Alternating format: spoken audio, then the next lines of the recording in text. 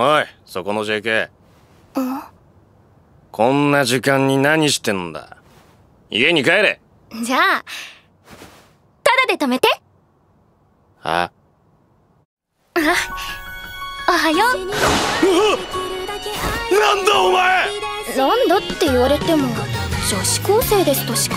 金がない。住む場所もない。じゃあ男を誘惑しよう。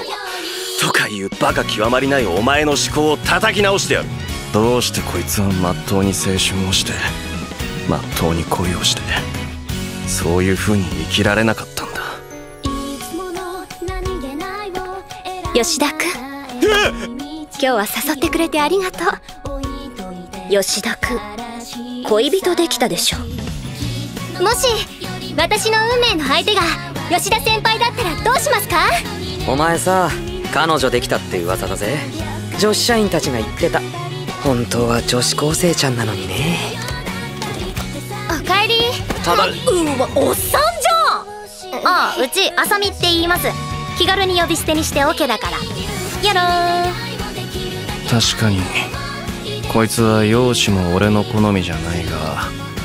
まあかなりいい方だし。家事もできるし愛想もいい。なのになんで家出してはるばる東京まで来ちまったんだろうな。ひげを剃る。